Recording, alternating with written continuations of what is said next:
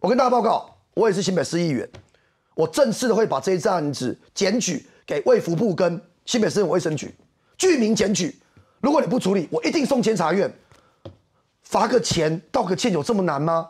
侯友谊就硬凹到底嘛。来，我们来看侯友谊最后的处理方式是什么？竞选办公室一第一时间不回应，到了今天知道事情大条了，有违法了，第一跳出来讲说啊，我们虚心检讨。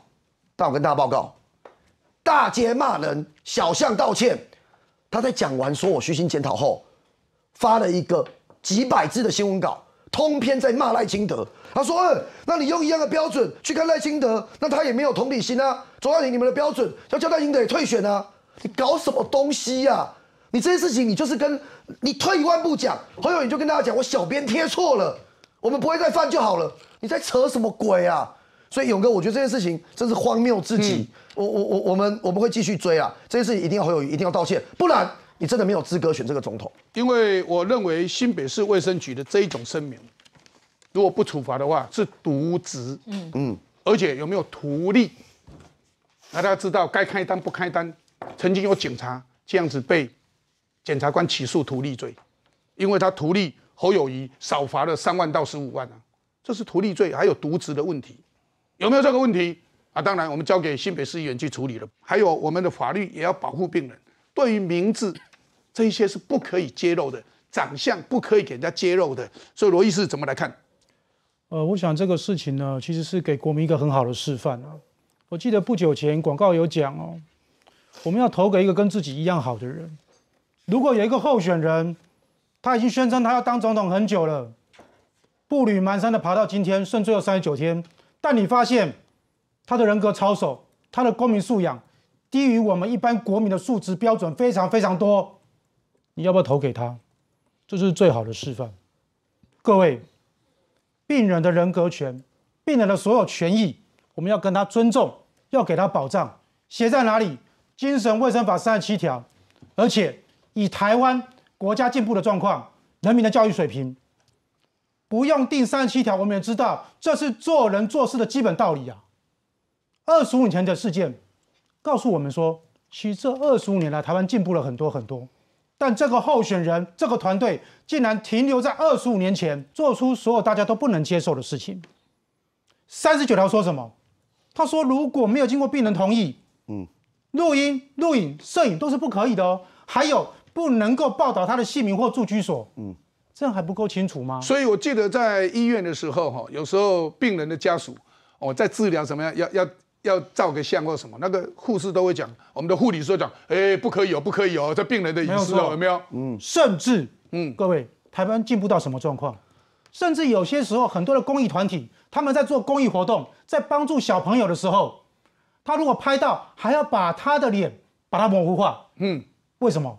因为你要帮助他，但是你要保障他的人格权啊，他的合法权益啊，嗯，不是因为你捐了一些钱，你就可以说让他的成就。你的荣誉，所以我觉得这个事情非常非常的严重。那我觉得现在最大这一党犯的一个问题是，他们常常在程序上面去跟他争执。我说没有错啊，没有这样没有问题啊。各位回到刚刚那个问题，说国籍的问题，我刚才觉得很有趣，是说你们最大这一党在质疑肖美琴台湾副队长的国籍到底对不对？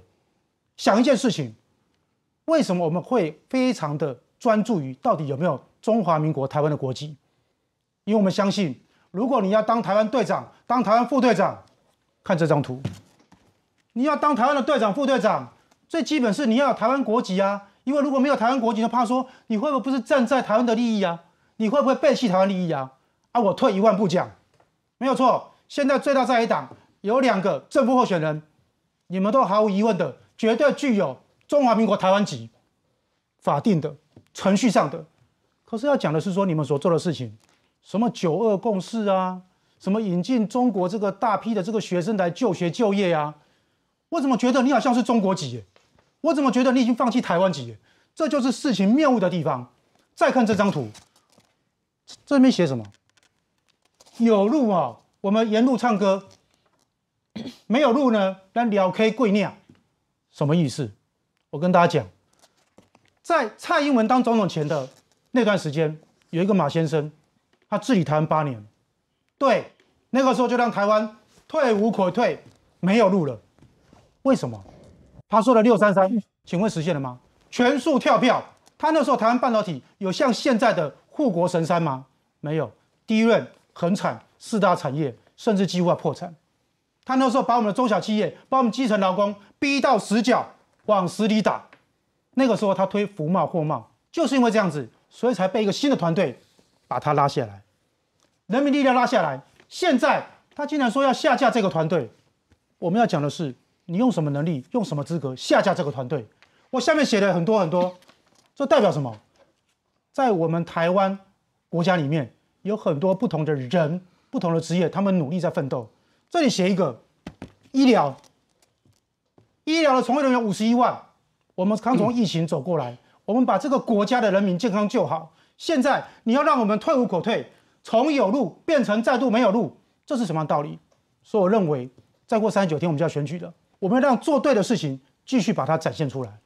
我们再看看赵少康，他现在有一些争议也出来了。接赵少康用一亿买五十七亿的中广，民进党批说国产变私产，难怪能教年轻人理财。哦啊，怎么教年轻人理财是这样子的？中广是国民党不当取得的附水组织，所以这是国民党的不当财产。赵少康两千零六年用一亿换得五十七亿中广经营权的时候，中广都还是被国民党侵占的国家资产。当时赵以不相当对价关系取得中广作为他的私产，显然是国产变私产。所以大家在问啊，质疑赵少康空手套中广。王义川说：“赵爷爷教教大家怎么零元抓下五十七亿。”王义川说：“当时北检鉴定中广资产总值超过五十七亿。”嗯。结果国民党中投公司用十亿就决定卖给赵少康，赵少康跟银行贷款，等于他根本没有出钱，因为他银行贷款，贷款用贷款的钱就给这给国民党了。可是他现在却掌握了中广五十亿的资产，相当的荒谬。这是第一个。另外呢，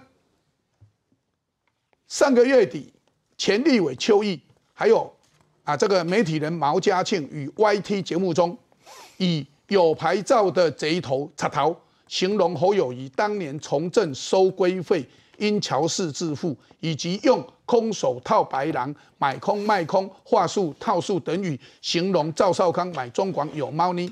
这个时候是他们讲的话，哦，他们这样讲的时候，当然赵少康他们都跳起来了，侯友也跳起来了。所以侯办发言人吕家凯今天跟律师简荣忠、叶庆元以涉犯。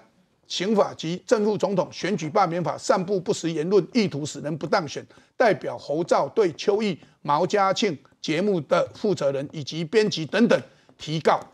哦，所以啊，现在提告邱毅、比特王、毛家庆违反选罢法。侯莹说恶意诽谤侯康佩，恶意诽谤侯康佩，哎，所以告的哦，这个也是这样子。那这个是在选举里面的一个，诶，算起来对侯康里面也是很重要的一件事情。怎么来看呢？名誉包括哎买中广的事情，呃，中广他到现在没有辞这个董事长了哈，我觉得这件事情还是要继续追究下去，因为。NCC 已经发函了嘛？就是你在这选战过程当中，你自己是媒体的董事长，你要怎么样子哦，让这个让让这家媒体可以维持公平、公正、公开呃这个公正的原则啦，哈，这是第一个。第二个 就是刚刚那个勇哥所说的空手套白狼这件事情啊，这件事情不是我们自己讲的哦，这个是赵少康自己，他曾经在二零一七年他自己也自曝，他说啊，他去经手中广的时候才发现说，哇，基金基金公司那里加加好坦呐哈，每一年呐至少还有两亿。的这个股利哦，哈，年赚两亿的股利，他觉得怎么会这么好赚？那事实上，用一亿去买，然后每年可以赚两亿。哎，他当时应该是支付两亿的签约金，但是他只付一亿，但另外一亿是贷款。对，那你刚刚讲没错，他说他还有这个每年还可以领两亿的股利耶，所以他自己经手之后，他也知道说哇，他他是怎么那么好赚？因为等于说这家公司哦，是后来被去鉴价，就是说被鉴定价格啦，是五十七亿嘛。哎呦，是后来人家这个有有去有去鉴定。五十七亿，国民党用十亿卖给他，而且不要忘记哦，我如果我印象没错记没记错的话，当时还有高玉仁，高玉仁也有出价，而且高玉仁出的价格比赵少康还高。那为什么不卖给高玉仁？这就是一个历史之谜嘛，就马英九，你当时为什么要去贱卖这个党产？